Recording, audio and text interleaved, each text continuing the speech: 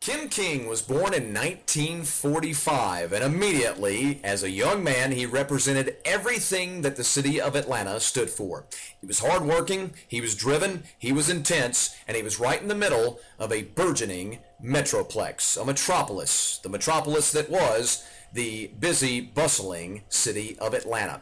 He was, and I can truly appreciate this, a man who loved his home city.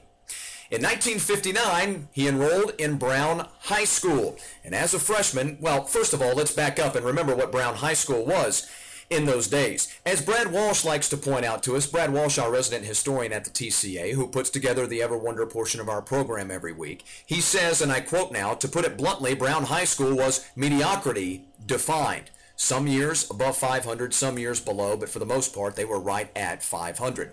As a sophomore, King won the starting quarterback position, and that year, the Rebels finished the year at 1 8 and 1.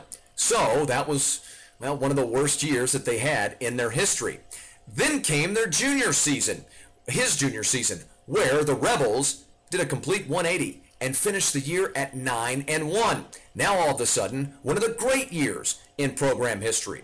Not just one of the great years in program history, but Kim King had one of the great years for a quarterback in the history of this state up to that point.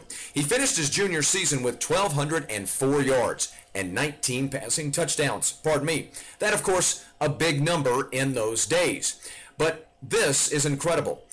Kim King, in his junior season of 1961, finished the year as All-City and All-State in football, baseball, and basketball.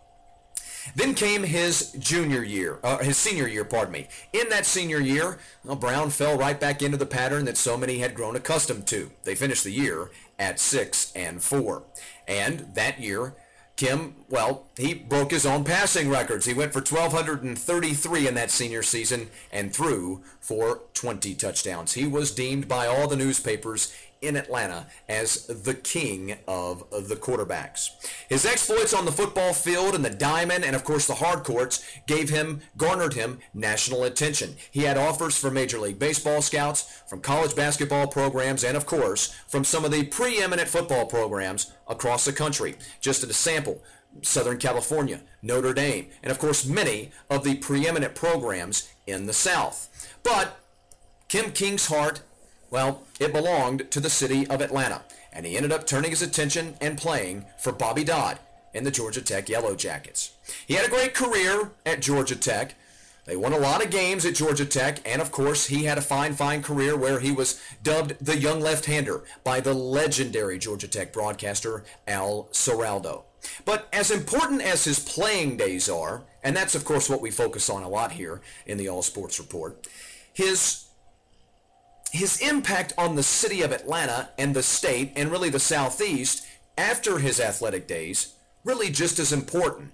This is a guy that a lot of you out there may not know, especially some of you younger guys who aren't into history. Of course, a lot of you older folks out there will remember. Kim King had a great influence on many, many facets of life in Atlanta.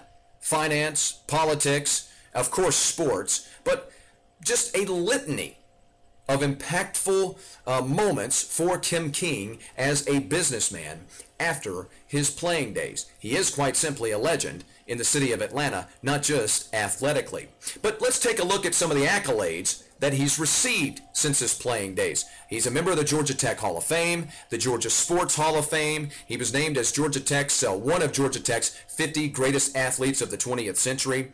He, uh, of course, won the Georgia Tech Total Person Alumnus Award and as many of you know out there, he spent some time working with Al Ciraldo as a color commentator on the radio broadcasts for Georgia Tech football. He was a founder of Kim King Associates Incorporated, who built the Synergy Complex in Midtown and uh, numerous other major complexes across Atlanta, the state of Georgia, and uh, the Southeast. He was at one point the finance chairman for Governor Roy Barnes' uh, gubernatorial campaign. He was chairman for the Georgia Public Broadcasting Company, and for a short time, he was the president of the Touchdown Club of Atlanta. In 2004, Kim King unfortunately lost his battle with leukemia and passed away at the age of 58.